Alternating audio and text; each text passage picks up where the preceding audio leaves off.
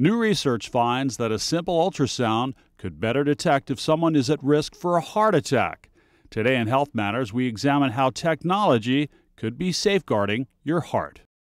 Every day, new advancements are being made in medicine, and the use of the ultrasound is gaining in popularity. Sometimes we can pick up early abnormalities by that technique that might warn us that someone is at risk for a heart attack. Cardiologists like Dr. Chazal can see if a person is at a higher risk of a heart attack and take appropriate action just by using this non invasive technique. A diagnostic measure that might tell us someone who's at higher risk and therefore allow us to utilize therapeutic means, particularly medications, but sometimes surgery or intervention to prevent heart attack. Dr. Chazal says this type of testing could also help to individualize care for each patient. There's really a lot of good data out there that allows us to risk stratify patients based on family history, their genetics, if you will, also other risk factors like inactivity, blood pressure, smoking, and cholesterol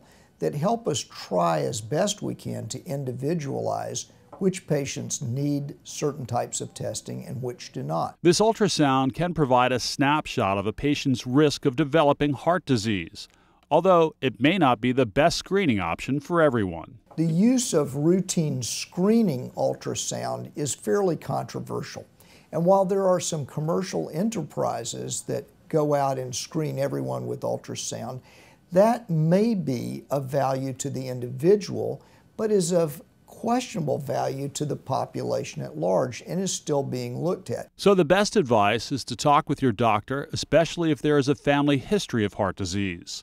It's also important to safeguard your health. Stop smoking, eat healthy, exercise. That's by far some of the best ways to ward off a potential heart attack. Reporting for Lee Memorial Health System, I'm John Bafar.